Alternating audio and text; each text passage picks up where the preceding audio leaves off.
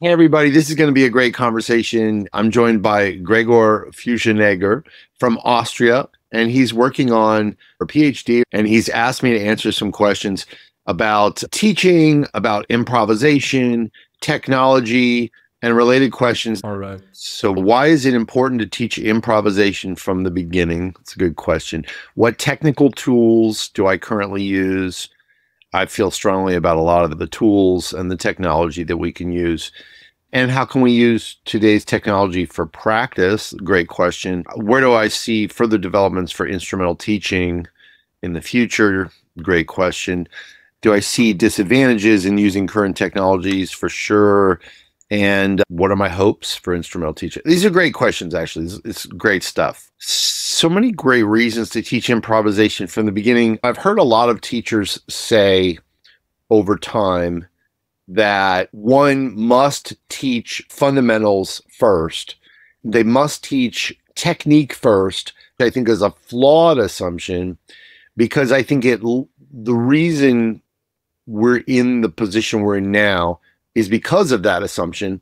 And it's like a never ending thing. Because if you're like, first, you have to learn finger placement in the left hand and you have to learn bow technique before you can learn improvisation. It's like that never ends. You could always say, but you got to get to book three, or no, really, you should get to book six or book eight. And then by the time, if a kid starts playing when they're five years old, and then by the time they're nine or 10 or 12 or 14, they're already probably feeling like anything that departs from these technical exercises they've been doing feels scary. There's an element of conditioning. I think improvisation can happen right from the beginning because there are so many positive benefits that come from learning improvisation. And I don't see why we need to wait basically. Now, I will say that there are different ways to teach improvisation, and this is part of the problem as well. A five year old kid may be resistant to learning music theory. They may be not ready to learn note reading right away or not be able to do it really right away.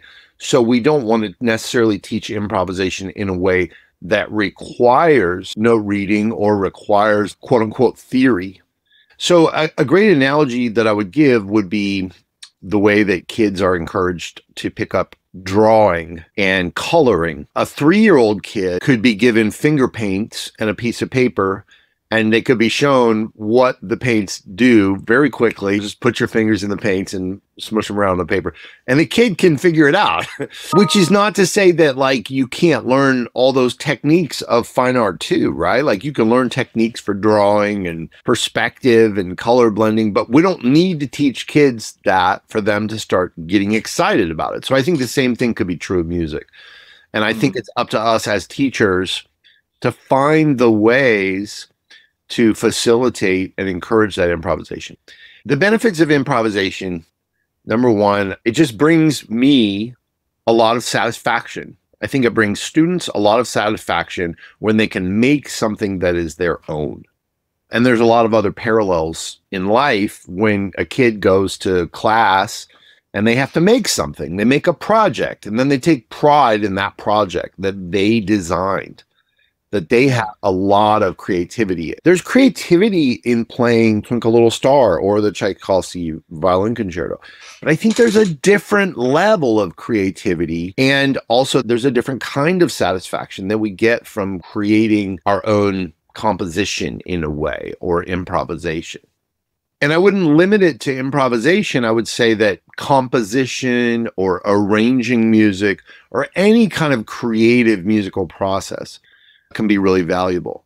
I think kids making recordings, videos of themselves, and being able to hold those videos and witness those videos can be really powerful, can be really interesting and helpful for them. Number two, and pride that comes with that expands our ability to have music be a powerful force in our own life for navigating the difficulties of life. How many times have we as musicians noticed that our relationship with music helps us to get through other things in life, many types of things. Even this week, I've had that situation where something difficult was happening and I found a refuge in being able to engage in a musical project.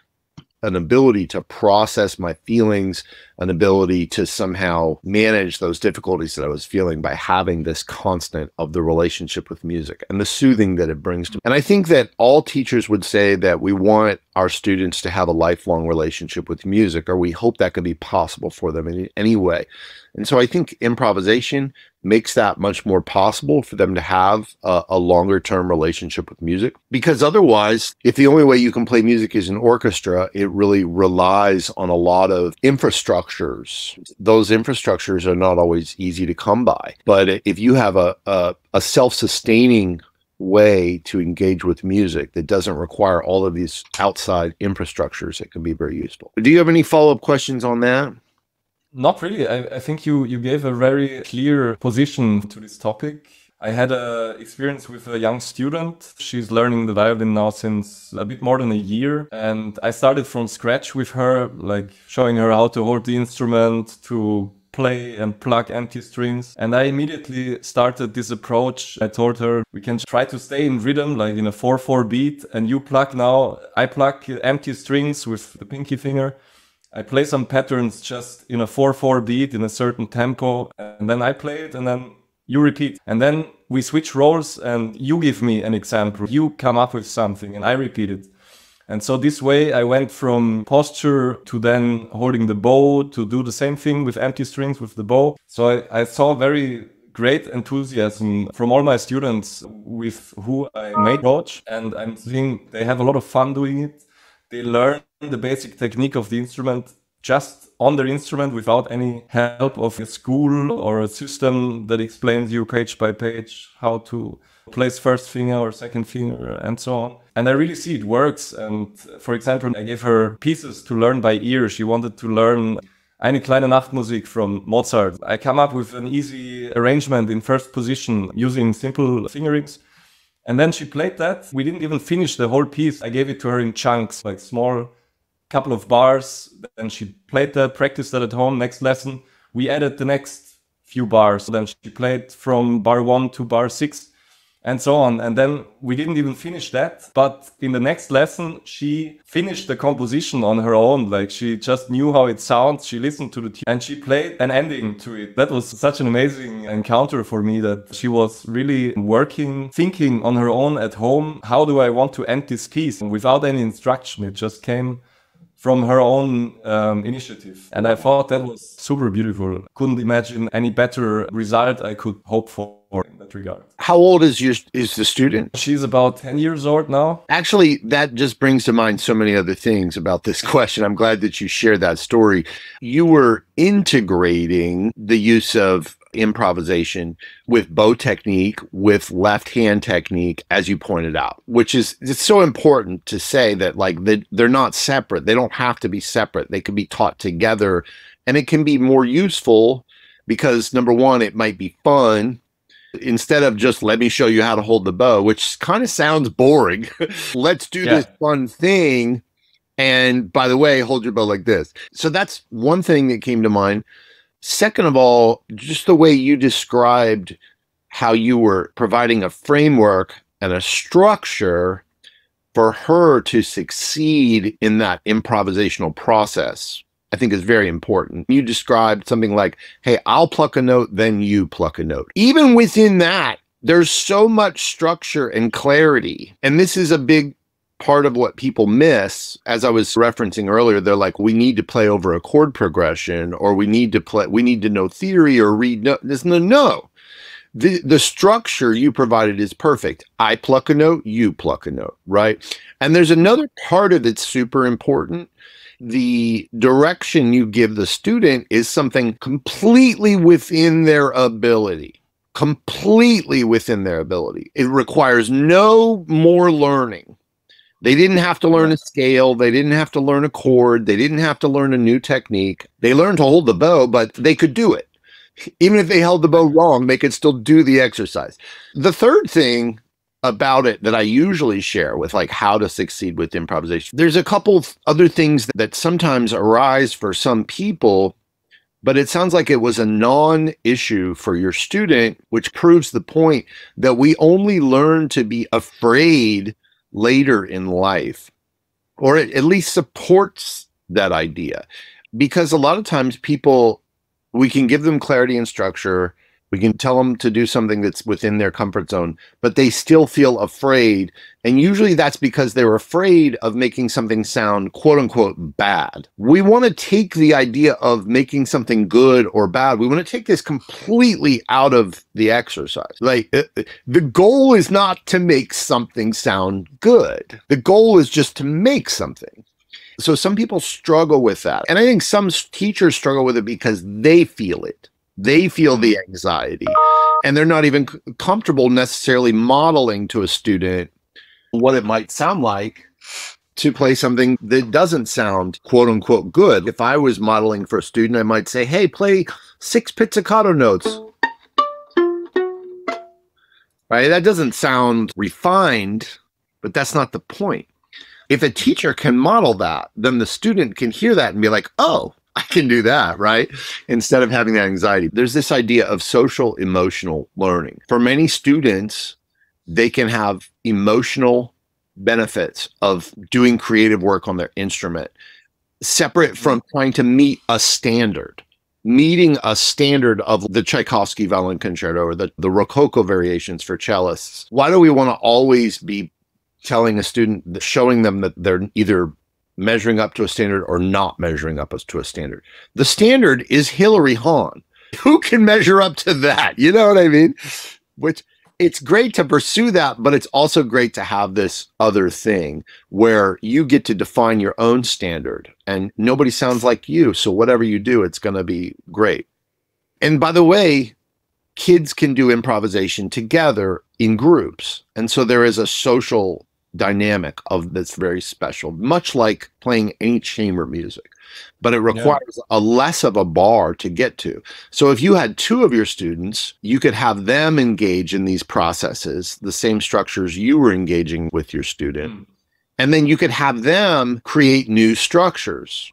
They get to actually engage in making variations on the structure. So your first structure was I play a note, then you play a note. I play a note, then you play a note then you could say to your student, how could we change the rules of this game? And then the student gets to decide the game. And then now they're really composing and improvising on a whole other level. And then they could do that with their friend or with yeah. three friends.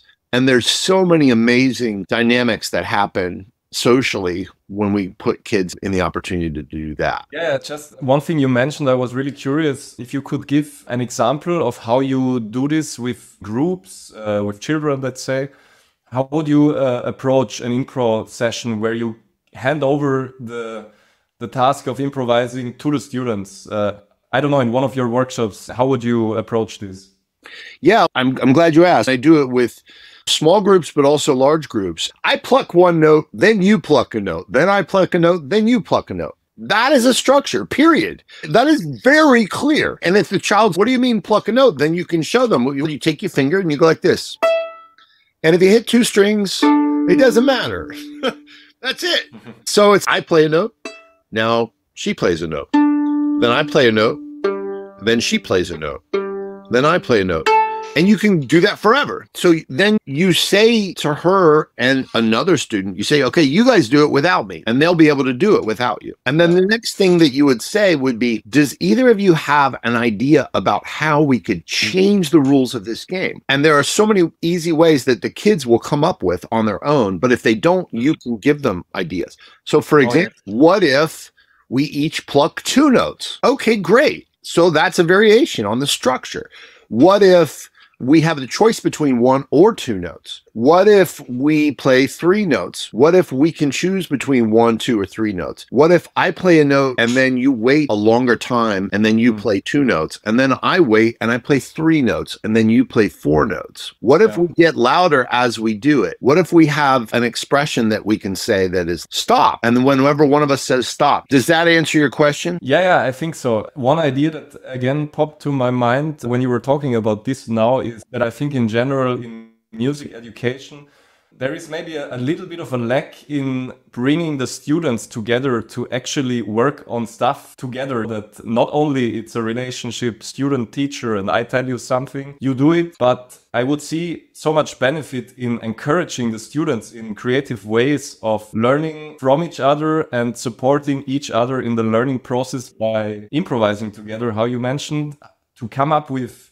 actual ideas how to teach each other. And I'm just the observer of that. Maybe I, I just give hints, try that maybe. And what about this idea? When I studied in universities in Austria, I always got so much motivation from our group lessons, actually, where our teacher, we would meet once per week in the university and play for each other and then give feedback to each other.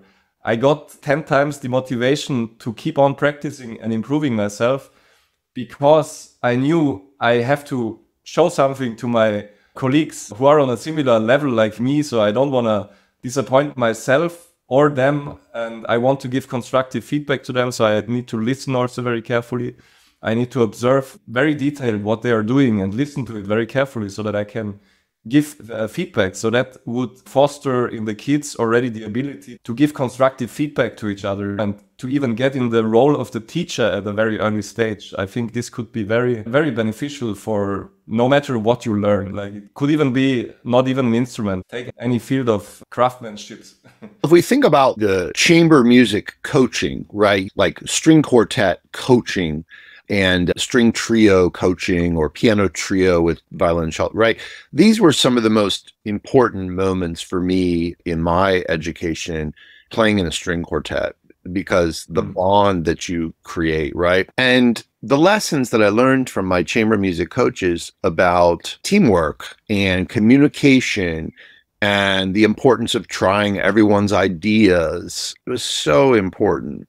But also, if we think about chamber music in the sense of classical music, again, we can't escape the fact that within a string quartet, you may have somebody who's like on a very higher level of ability to measure up to this standard that's been predefined of the Mozart piece or the Tchaikovsky piece, right? And somebody else who's a little less able to meet certain standards, right? So there is some hierarchy that occurs.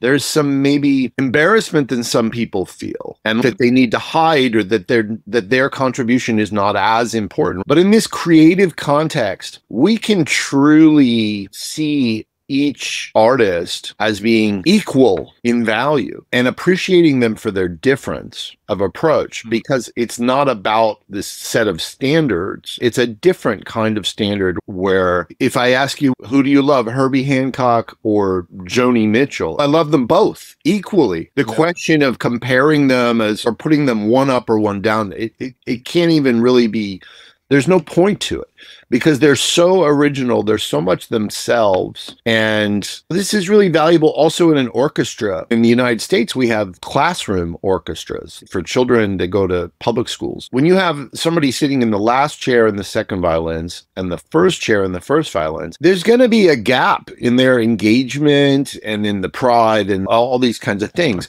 But if we make more space and time for these creative activities, that last chair second violin player can feel as important, as respected, as valuable as the concertmaster, or even more. In fact, that was the experience that I had in my high school orchestra.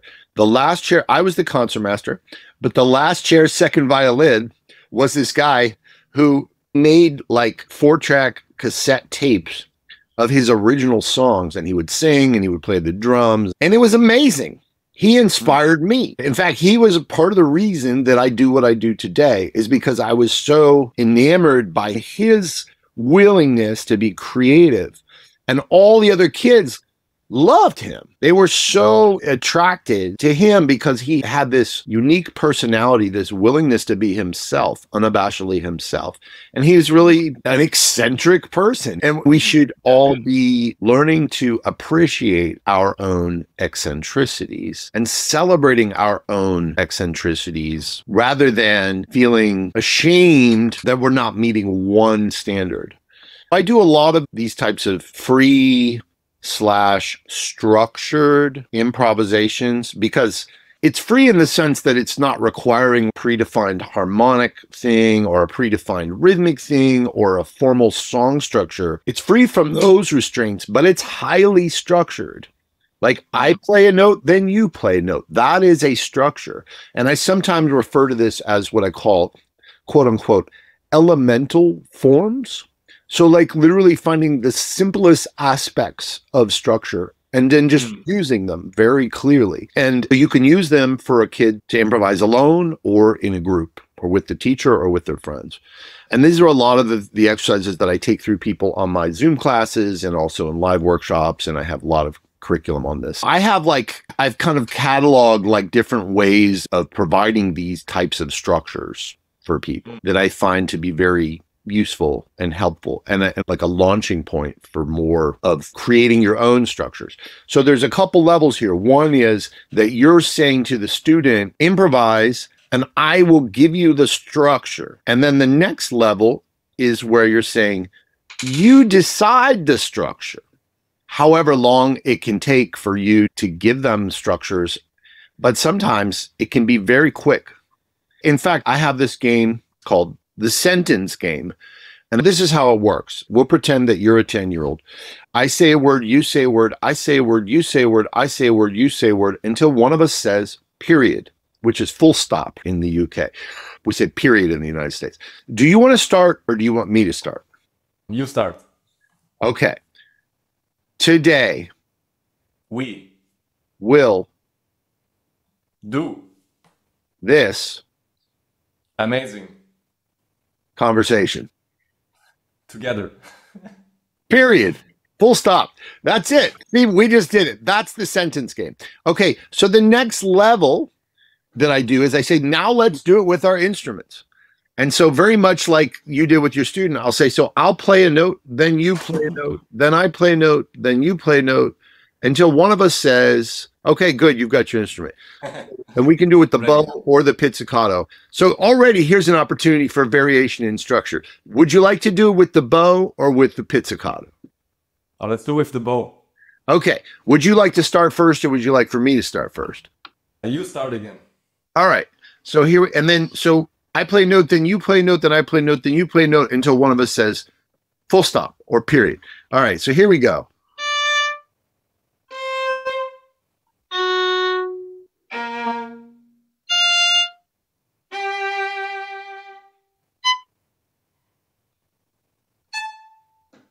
Period.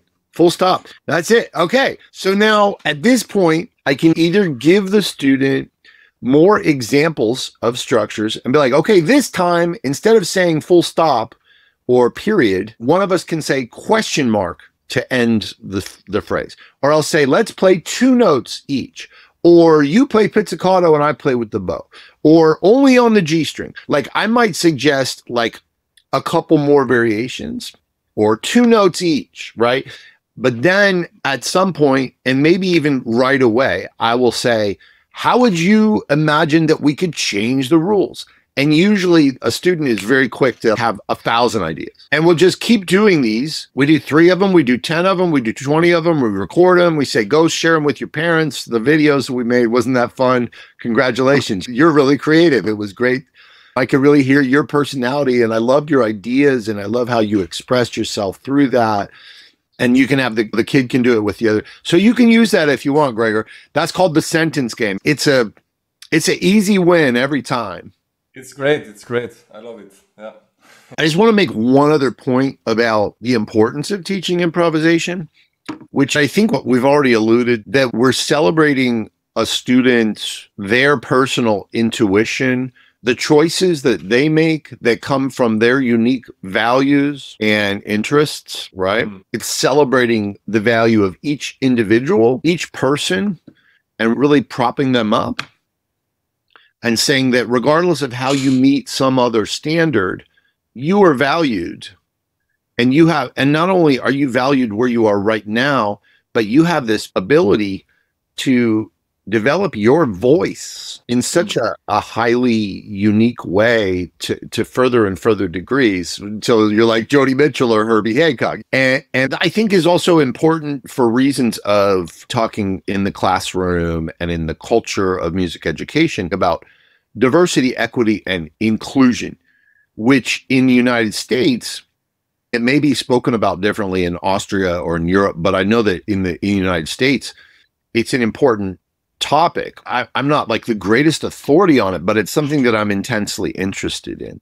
I'll give an example. The other day, I was teaching in a high school orchestra classroom, and high school is age 15 to 18 in the United States. There might have been middle school there as well. So there's probably 70, 80 students. And I have a sequence where I teach Pachelbel's canon, but then I teach it as a reggae style and as an Appalachian bluegrass style, and then as a bossa nova style, and then as a heavy metal style. In the beginning of one of those, I said, hey, now we're going to do it as a reggae style. And and so you can imagine that if Pachelbel lived in Jamaica, he might have used this approach instead of the Austrian or German or whatever he was, because the music from Jamaica is just as important and as meaningful and just as helpful and deep as the music from Germany.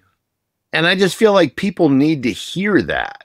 And especially people want to hear that their culture is meaningful. If there's a kid that happens to be from Jamaica in orchestra, I want for that kid to be able to hear that the music of their culture is meaningful too. Yeah, and I'm just now imagining like some reggae tune played in an orchestra. That would be amazing.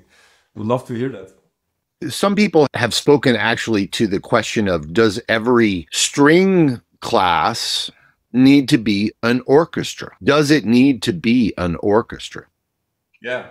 Does reggae need to be played in orchestra? Even just this framework of an orchestra can feel limiting or constricted and tied to these historical kind of compromised issues. I'm just saying, like, how do we cultivate respect, celebration, curiosity, appreciation for diversity, you know, not only in the cultural sense, but also at the individual level, every person.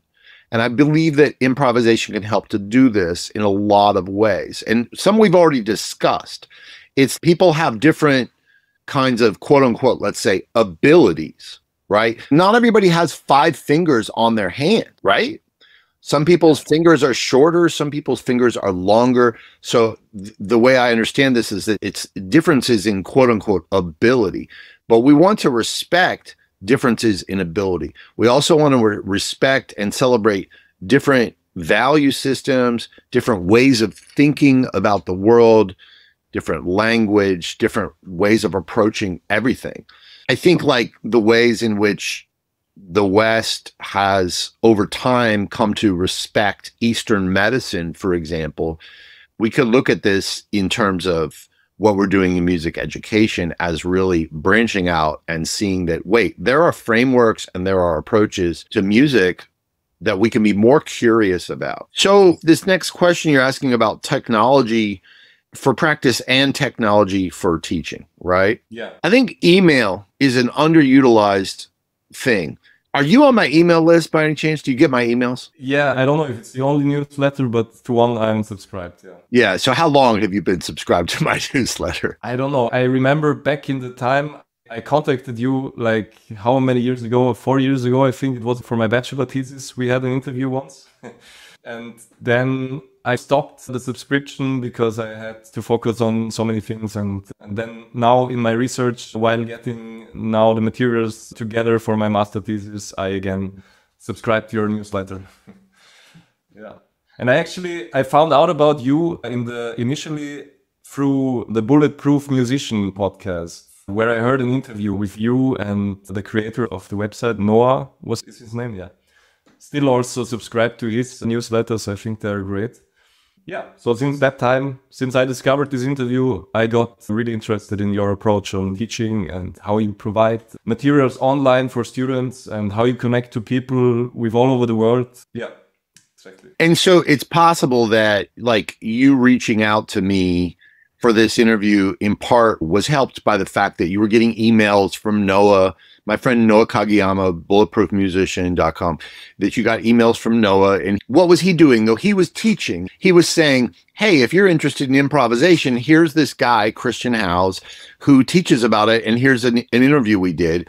And so by virtue of that email that he sent you, you learned something. And then it connected you to me and my newsletters. The thing is that teaching and marketing, I believe, are very closely connected.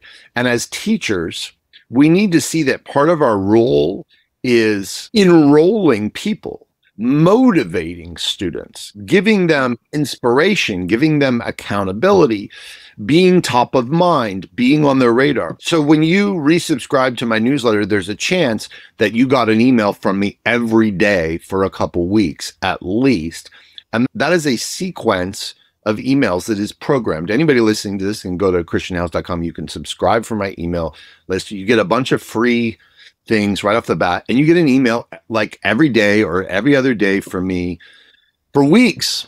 And each email teaches you something. It either teaches you something in the email and or it sends you to a video or a conversation or a blog post or whatever. But it's mm-hmm. all ways to teach. These are all ways to teach the more ways we can show up for people, not only to provide them information through reading, through information, through listening, information through playing along on a play along video, the more formats and the more frequency that we're constantly inspiring them, I feel is a great way to help them to learn, but it's also a way to do it at scale. So I teach a hundred thousand people every month. That's crazy. yeah. Yeah, and there's different levels of engagement. So there's 10,000 people on my newsletter who get these emails from me that that teach them in various capacities but then there's usually 100,000 views on my YouTube channel and there's over a thousand videos on my YouTube channel and most of them are teaching videos and then on social media a lot of times I'm doing some teaching as well and then I have people that are enrolled in like this level of maybe it's private lessons or they're in my group classes or they're in different levels. So even for you who were not like enrolled in my studio, you're still getting some teaching from me just through the newsletter. So I would yeah. say people should create email drip sequences. And there are fancy ways to do this with automation, but you can also do it in simpler ways. Like you can have a Google Doc, or actually, you know what a great technique is to use email signatures. So in your email program, you have a signature. Most people have a signature that says like Gregor and then your website, and that's your signature. I have signatures that are three pages long. It's just an email. It's any email that you have to send more than once, but you can save it in a signature and you can probably have 50 signatures. And so if you wanted to right now, today, with your students, you could say, okay, every time I have a new student who contacts me or takes their first lesson, I'm going to send them signature one, then signature two, then signature three, then signature four. And then that could be a sequence of emails that you want your student to receive the first year that they study with you. And it could be teaching them all kinds of things. And there's many ways to, to organize that. So I think email is one of the greatest tools that we can use. And in fact, one of the people that I've mentored, his name's Austin Scelzo. And when I began mentoring him, he was a full time classroom orchestra teacher. And I encouraged him to use more email to engage the parents. And so he was using email and he said that he like tripled the parent engagement. Wow. Yeah and, and it's because this is an issue for many teachers is that like the parents need to be educated too but you don't have the time to do that do you because you need to spend time with the with the child well if you have 10 emails that you could send to the parents that educate them and ask them questions and tell them their responsibilities and what you expect from them and how they can do a better job and what to do if they have this problem, what to do if they have that problem, what to do if they have that problem. You just write it one time and then you don't even have to write it. You can link to me explaining the answer to the problem. You can link to some other teacher who has answered the question, right? And now you're educating every parent, you personally, Gregor, every parent of every student you have for the rest of your life. You can say, here you go. One click. That's done. amazing. Uh, how many of these signatures can you save at once in, in your Gmail, let's say? I'm using Gmail. I don't know. I don't use Gmail, but I know that it's an option and I'm sure you could figure it out. I use like a fancy like software to do all these things now. Okay. But I have used signatures before and it's just the point that like you can do everything with Google Docs, with email signatures and with YouTube, all of which are free. You can do so much by making YouTube videos. The same thing that I'm saying, like whether you're teaching all these things in email, you can teach all the same things it could be in a blog post and you could just send people to here's a blog post about this here's a blog post about that here's a blog post about this here's a blog post about that. You could have one google document where you just have every single blog post you've ever written or every email that you've ever composed. And it's just one google doc with links and i have that for a thousand youtube videos. I have a google doc that's a catalog of all of my YouTube videos by playlists because I have so many. There's a thousand. So now I have to make it easier to search. You have a Google Docs with all of these different formats for giving people the information they need. And the information they need doesn't need to be created by you. It can be linking to your favorite demonstration of a bow hold technique by another violinist or like a child psychologist talks about how parents can help their child practice music when they have a hard conversations or whatever. So you link to that blog that you think is a perfect answer. But you as the teacher are guiding that experience just by providing access to information in different ways and showing up on a more regular interval for people and encouraging them more. Yeah, it's really amazing. I didn't know about that possibility in the with the signatures. That's really great. Yeah, great tool to use. So there you, you answered already the two questions here because one, which technical tool you were talking about, email, and then are there ways to use these tools better in that sense? Yes, I was using email, but not in that way so far. Yeah.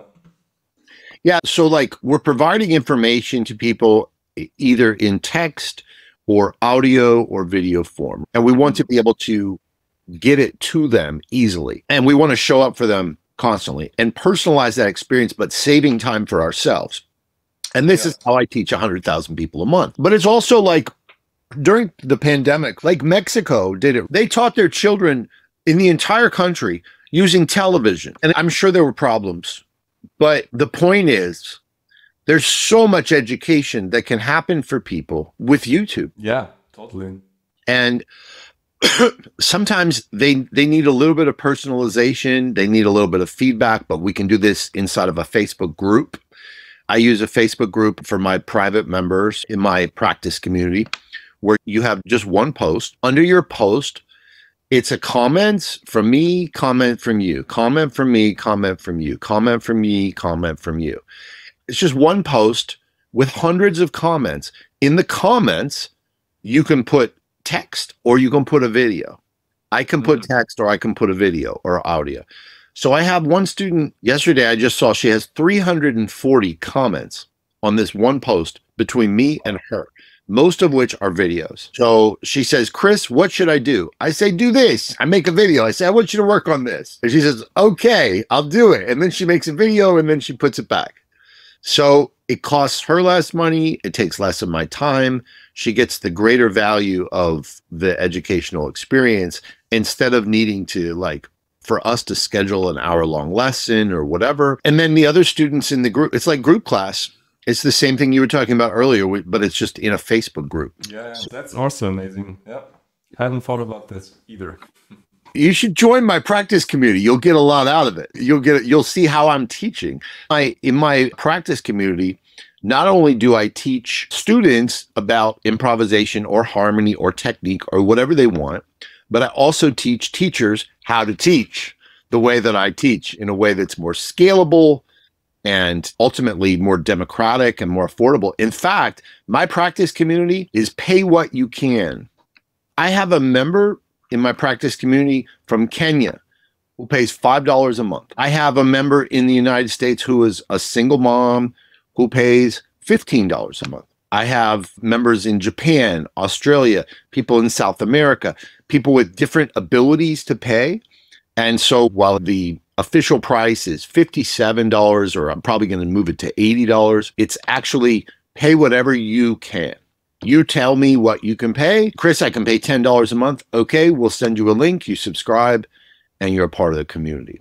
Wow. So it's incredible. It's so using these methods, they make it more possible for other people to access education and great teachers I'm teaching people for five dollars a month. That like literally they can have a comment, they can have 400 comments with me with videos I make for them. They can come to my Zoom classes. I think more teachers should be making play along videos. That's what I do with the play along video where I play something and I say you play it back and I will invite you as I've invited other teachers that if you would like to try to make some play and and I teach teachers how to make play along videos, but I still find that teachers are afraid to do it or they're not sure or they don't follow through or whatever. So I invite you if you want to make some, I will check them and I'll even publish them on my YouTube channel and link to you if you'd like to make a play along video and get some promotion you might get out of being on my YouTube video. Yeah, so would love to do that. Yeah. I think more people can collaborate, more teachers can collaborate like in the ways that like Noah Kageyama and I have collaborated, for example. The collaboration, for example, I have brought Noah to speak for my students. He's brought me to speak for his students. We also have cross promoted each other, as you mentioned, right? I created trainings that he's used in some of his courses and vice versa, these kinds of things, which goes back earlier to the fact that as a teacher, we don't have to have all the answers. We just have to point people to the right answers. Yeah. A lot of times, pointing a student to a video from another teacher, it's a really valuable thing that you can do for that student. You're the one that did that. Those are some of the tools that I recommend. I think just like with loop pedals, like a lot of times people ask me, Oh, how do I use a loop pedal? I will say, there's two buttons on a loop pedal, and literally, I can teach you 90% of everything you need to know about looping in 30 seconds. When I teach someone to do a loop, I say, This is what I want you to do. You're going to press this button and this button, and it's going to look like this. I'm going to say press, but that would be when you would push your foot. So it'll be like this press. And then you're hearing, that's it. That is the loop. I'm going to demonstrate it one more time. Press. And then you're going to hear the loop, Tom, right? Yeah. That is 90% of everything that is required on the technological side of using a loop pedal. Everything about looping is actually about learning to arrange. It's learning to arrange and compose. That's all that matters. So people get to, they they think they have a technology problem, but they don't. They have a problem with arranging. And in the same way, this question about technology for teaching or practice, it's about how do I teach and how do I practice. And if we address it from this perspective, then the technology is simple. So most people won't use email. Most people won't make YouTube videos. Most people won't make a play along video. But it's probably either their lack of organization or time management, or it's just their insecurity and fear, which is totally human. I feel insecurity and fear.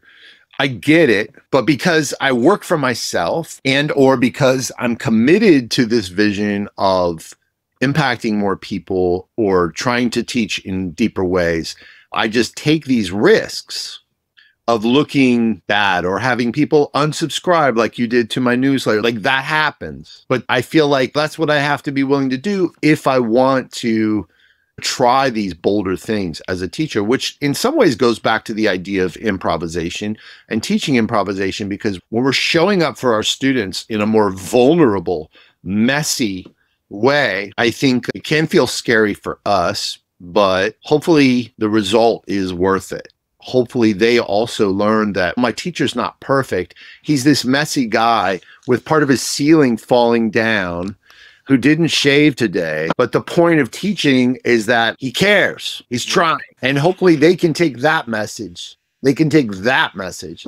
That would be probably how I would answer that. If you have any follow up questions you'd like to ask, I'm happy to stay for another minute or two. Yeah, something just came to my mind now, which I think could be very valuable information for other uh, music teachers like me who want to find new ways of teaching uh, using technology and uh, using the tools that are out there, uh, which are like giving us uh, such a huge amount of possibilities nowadays to approach teaching. So I would be curious if you would turn it down to in percentage, how much percentage of your time do you spend teaching people online and creating videos for them versus teaching people live in workshops, in one on one lessons where they actually come to you in the practice room? How does that look like for you at the moment? Yeah, so I have group classes on Zoom where my students are playing the whole time. They're muted on their side, right? So they're playing for 90 minutes. So I have these big group Zoom group classes with mm-hmm. very diverse students, but the way that I teach it is very unique. It's like a yoga class. So that I have like people that are the highest level professionals, like master's degree from Juilliard and like full time with the New York Metropolitan Orchestra, like next to self-taught players that just have been playing for three years in one class together. I didn't even talk about this, but it's just a different way of teaching. And they're playing the whole time, but it's relying on these elemental structures we talked about earlier because they're improvising most of the time. So I have these classes, and then I have like my Facebook forum that I mentioned for my members where they can ask one to one questions and then get videos back from me if they want it. And then I also have premium opportunity for people to take personal lessons with me on Zoom. By the way, anybody that joins my practice community, including you, can get one free private lesson with me. Anybody in the world can join my practice community and take one private lesson with me for free with the the beginning of their subscription and trial. So I insist on the onboarding, I think is important to meet the person, to know the person, to understand their problem, because I want to help them. I want to coach them from a holistic perspective. Yeah. Why do they want to play music? So that's very important to me is meeting each student and really having that relationship and being able to build on that. During my Zoom classes, I also have a chance at the end after the group class where people can ask one-to-one questions. I also have office hours where people can show up and they can play for me for 10 minutes or ask one question person to person. But I make a lot of content that is specifically for a person, a student that asks me a question, I make up a piece of content for that student, then other people benefit from it. So I'm making a lot of content for specific students, but then I'm broadcasting it and sharing it to the world and trying to distribute that. So that's a lot of what I'm doing. I'm Also creating emails writing yeah. emails to explain things to people because I'm not just talking about bow hold. I'm talking about why is music important to you? What are ways that you can improve your productivity? What are ways that you can feel more joy, self appreciation, self love? How can you make money? How can you deal with the problems when you're not getting along with other musicians? There are so many aspects of feeling satisfied and confident and happy in our lives as musicians. So I'm actually wanting to address all of these things as much as I can. Because really, my goal is not only to help all of these people, but also to change the culture of music education worldwide. So I'm yeah. trying to like show to explore those frontiers and hopefully inspire other people to take it up. That's really powerful what you said to to really change the way music is taught basically on a global basis. Yeah, that's really beautiful. And maybe the last question now what inspired you initially to take on that path of using technology for your students to do what you do right now with all your online courses, with your Zoom classes, with your Facebook group, email lists? What inspired you to do that? Was it out of a necessity you felt, or did, did you have a feeling I need to learn to use these tools in order to be on the verge of music education in the modern age? Or I would be interested, what was your motivation there?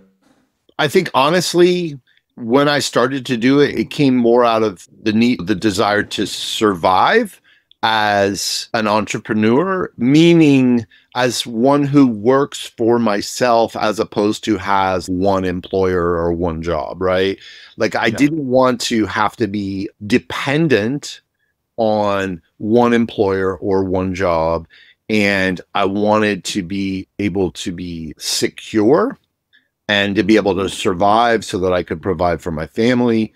And I thought, how can I increase my odds of survival and mm. of also being able to not just surviving, but to survive and have the best possible quality of life for me and my family. And so I thought, This is a way to amplify my message and to draw more people in and to get the opportunity to serve them. Mm-hmm. So first I think I'd say probably it came more from survival and now I would say later on 15 years in or 17 18 years into this kind of and really it's been longer than that that I've been working for myself as a in the music business. It's been since yeah. 1996 that I was working for myself and now it's more also for wanting to make an impact, wanting to leave a legacy.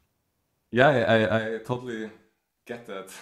and I think many musicians on the whole world, they feel the same. I think, and this is the stuff that they don't teach you in universities, like how to actually survive as a musician. Imagine there would be classes in the university that teach you how to make a living from teaching music using the internet, getting your own following of students, how to make a YouTube channel, how to attract an audience, how to sell your courses to people. I think this, if this would happen, if this would become part of the curricula in the universities, the lives of so many musicians would change because they would actually start making money from what they learned. Yeah. You know. This is part of the curriculum that I provide in my in my community as well. And over the years I used to have a separate service and I still do coaching for people just helping them with their business. But in my practice community like literally this Saturday we're doing just a call where it's literally just a coaching call around business. Not all of my members are making music for money though or working for themselves but the ones that are and the ones that want my help with that, they show up and they can ask me questions about all those things and I answer them for them. But yeah, I totally agree with you. And also, it's again the same thing we were talking about earlier like the principles of entrepreneurship or how to run your own business or how to work for yourself they should not be confused with the platforms. Yeah. So it, there's a lot to be detangled untangled there. What is the first step for me to the first step for you to have that security and safety and survival i would say is like some a vision some goals some clear numbers things like this. And then the next step is basically to do very basic foundational fundamental sales. It's just like offering direct one to one, like offering services to people in exchange for value and building off mm-hmm. of that. And that's what I did from 1996. Great talking with you, Gregor. I wish you luck with this project. I'm, I'm glad we're in touch. I'm glad we were able to connect. I look forward to connecting with you more soon. How, how where can people find more about you? So for now, you can just find me on Instagram, on YouTube also. If you type my name, Gregor Fussenegger. If you look Lawrence from von Hötting, that's my artist profile where I make electronic music. I'm thinking of making also a teaching website soon, but that's probably going to happen in the next year or so or in the next few months uh, because I need to start preparing the materials first. So you will hear from me in the future, but for now, only Instagram and YouTube. Yeah. That's great. As you get into building your platforms and things like that, if you ever need a coach to help you with it, feel free to reach out. Yeah, I, I definitely will. Yeah. Thanks for the offer. All right, man. I can, I can, I can do the promo for you. Uh, go check out us at christianhowes.com, uh, creative strings. you will get amazing value from his course. Oh, thank you. Thank you very much. Thanks, everybody, for Bye. listening. All right. Take care. Bye. Bye. Thanks a lot.